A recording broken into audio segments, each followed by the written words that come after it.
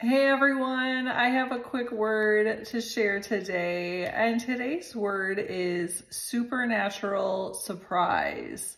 Supernatural surprise. And this word isn't for everybody, so please Take it to the Lord for confirmation and always test the spirit behind every prophetic word, including mine. But if this message is for you, you have a supernatural surprise on the way. For some of you, this is a right now word, and you're going to see this manifesting in the next 24 to 48 hours. I'm hearing in my spirit. So just get ready because the Lord has been looking forward to giving you this gift in this season. And that's the first scripture reference today. It says in Matthew Matthew 7 11. So if you sinful people know how to give good gifts to your children, how much more will your heavenly Father give good gifts to those who ask him? So for many of you, you've been obedient. You know, maybe you've been going through a rough time lately and you felt alone. You felt like your prayers were not being heard. And what the Holy Spirit is saying today is that he heard your prayers, that Jesus has been not only hearing your prayers, but interceding for you in prayer. And these supernatural surprises are on the way in this hour. So if if you know this word is for you, if this is resonating in your spirit, get in the comments and come into agreement with this word and write supernatural surprise, supernatural surprise. Come into agreement and just be ready, be expectant to receive in this hour. Many of you have gone through many seasons of pouring in to the people around you and maybe your cup had been empty because you had just been pouring, pouring, pouring. And what the Lord is saying today is that your cup is overflowing with blessings. He is pouring into you in this hour. He brought me to Psalm 23 this morning, which talks about, um, hold on, I'm going to pull it up. It talks about um, that the Lord is your shepherd hold on, let me pull up a better version.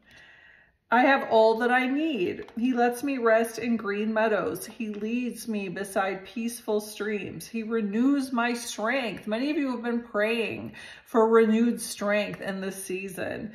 He guides me along right paths, bringing honor to his name. Even when I walk through the darkest valley, I will not be afraid, for you are close behind me. Your rod and your staff protect and comfort me. You prepare a feast for me in the presence of my enemies. And this has been something the Lord has been speaking heavy in my spirit this season, that this is a season of elevation and vindication for you. It's a season of judgment and exposure for your enemies, for those people who had been uh, reaping bad seed. That they're so they're reaping what they've sown in this hour.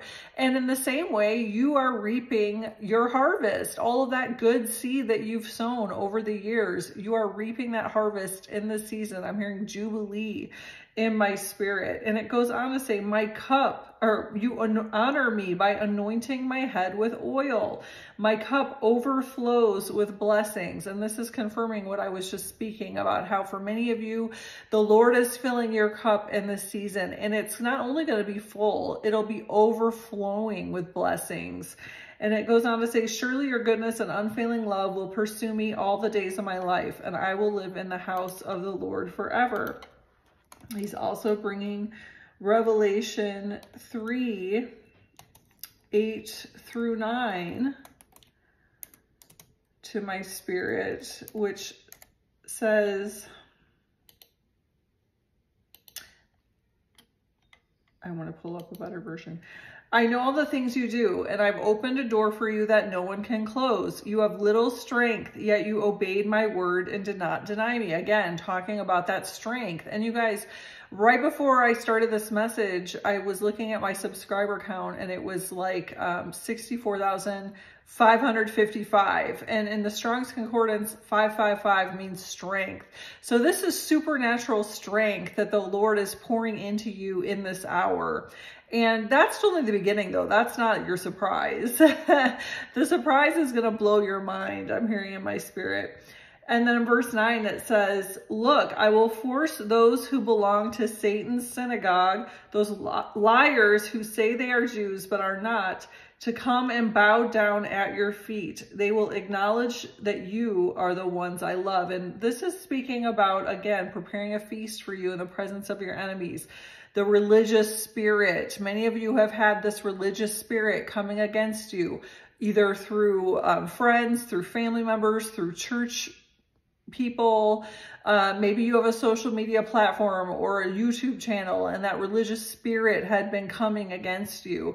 And the Lord is shutting it down in this hour. And many of you, even though you were coming up against that spirit, you continue to push forward. You wouldn't allow the enemy to get into your ear, to stop what the Lord had been calling you to do. And again, he's bringing Deuteronomy 28, 11 through 13, blessings for obedience. So for many of you, this is uh, supernatural finances, acceleration in your finances in this hour. Maybe your bank account has been running on fumes lately, but the Lord is saying your tank will be full. Your tank will be overflowing with finances in this season. And of course, there's purpose in this. And, you know, even when your fumes were running on empty, if the Lord called you to sow into somebody's ministry or to help somebody in need, you were obedient. You just trusted that the Lord would continue to provide for you as you're obedient in providing for others as he called you to do. For some of you, he also called you not to bless certain people who were maybe um, asking for money or operating out of manipulation and control. And by saying no, this was also a form of obedience, using discernment and wisdom, listening to the Holy Spirit, trusting that there are things going on in that situation that you were not privy to and the Lord was protecting you. He was protecting your finances. But it, when you are called to give, you give freely and willingly. You have the heart of Christ. You love helping people. You love blessing people. And so the Lord's increasing many of your finances in this season as well. But this supernatural surprise, this is going to be a specific event that happens in your life and you're going to know right away when this hits. So listen, many of you, the Lord's continuing to increase your territory. He's um, expanding your uh, reach in this hour. And this is only going to continue. And the other scripture reference he gave me for this word is Daniel 2.22. He reveals deep and mysterious things and knows what lies hidden in darkness, though he is surrounded by light. And of course, Daniel chapter 2 is talking about when King Nebuchadnezzar needed someone to interpret his dream and nobody was able to do it. The sorcerers, you know, all of the these people who had power from the wrong entities could not interpret the dream. But King Nebuchadnezzar went to Daniel. Daniel went to the Lord and the Lord revealed to Daniel the meaning of King Nebuchadnezzar's dream. And because of this, Daniel was giving, given a lot of favor. And so like Daniel, maybe many of you are gifted in dreams and visions and the Lord gives you revelation. You know, it's one thing to receive dreams and visions from the Lord. It's a whole nother level to be able to interpret what the Lord is speaking to you. And many of you are gifted in this interpretation in divine revelation. And it's really because you are just so connected to the Holy Spirit because you spend daily time in relationship with the Lord. You've accepted Jesus Christ as your personal savior. You've repented of your sin. You spend time in the secret place every day. And because of this, there's an open line of communication between you and the Lord. And so when the Lord gives you revelation, it's easy for you to interpret it. You understand the Holy Spirit's language. You know, it says in John chapter 10, my sheep know my voice. They will not follow a stranger. And you know, the enemy will try to whisper things in your ear as well. And you know you know your father's voice. So when the enemy does this, you're able to shut him down immediately in the name of Jesus. So I cancel the assignment of any um, unclean spirits working against you in the se season, you know, um, whispering lies in your ear that are against your purpose. I cancel that assignment. I bind those demons in the name of Jesus. And remember, it says in Luke 10 19 that you have the authority to trample the enemy like serpents and scorpions under your feet. He's bringing Isaiah 54 17 to mind. In that coming day, no weapon um,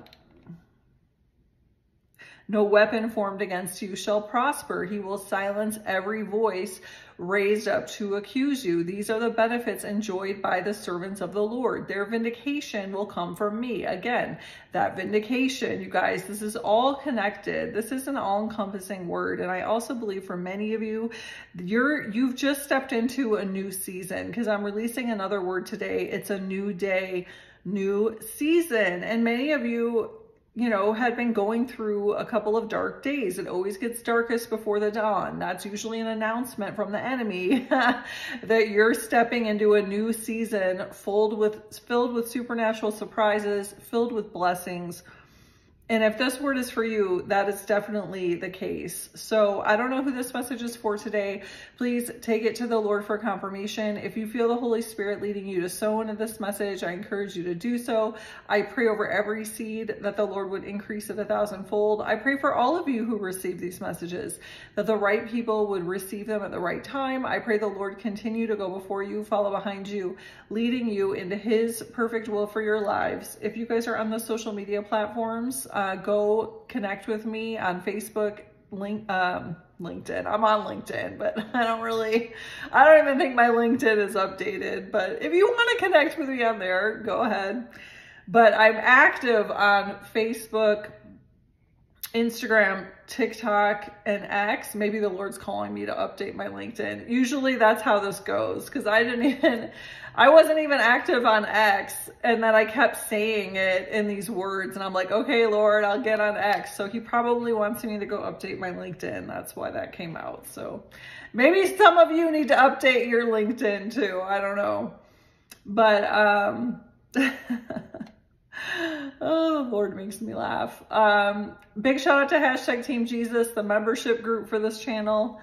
If you guys are interested in our Wednesday night live Bible study and prophetic flow, that's for members only every Wednesday night at 6 p.m. Eastern time. Just click the join button. It'll show you how to join. It's a $20 monthly seed. It gives you immediate access to our Wednesday night live streaming events. If you can't make it, it lives on a replay. There's already like 42 or 43 episodes in replay that you can go get caught up on. Sorry, guys. If you're interested in real estate in the Dominican Republic, I've got my website linked in the description, covenantrealtydr.com. Click on the tour tab if you want more info about the tour we have coming up in May where you can come down to Punta Cana, meet me, learn about the buying process in that country.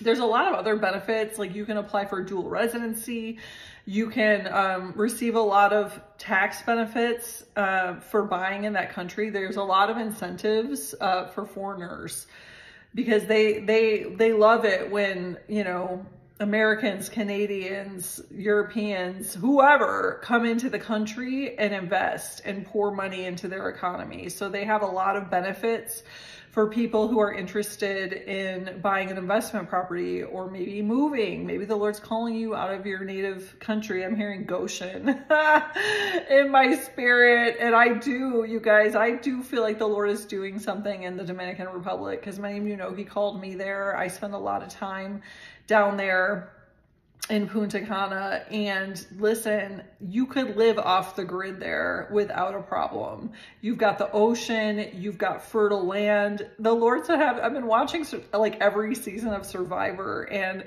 maybe the Lord's getting me ready for something. But I do believe, I was watching Kevin Zadai yesterday. It was one of his videos he released recently where he was like in his studio and he was talking about Goshen and about how this was the land where Jacob's family, Joseph's family went um, when they left Egypt and that they were protected in Goshen and they had everything they needed. It was a time of famine, but in Goshen, they had all of their needs taken care of. And so the Lord really highlighted that to me. So I do think the Lord's doing something in the Dominican Republic. I don't, look, I've just been obedient. I know he called me to start my Covenant Realty company down there.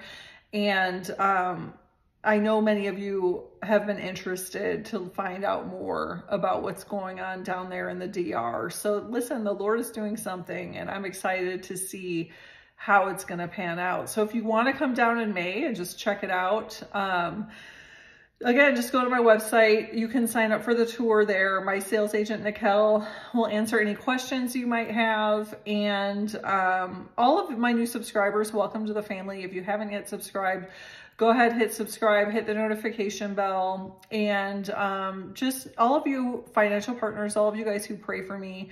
I could not do this without you. I appreciate each and every one of you so much, and I love you all with the love of Christ, and stay blessed.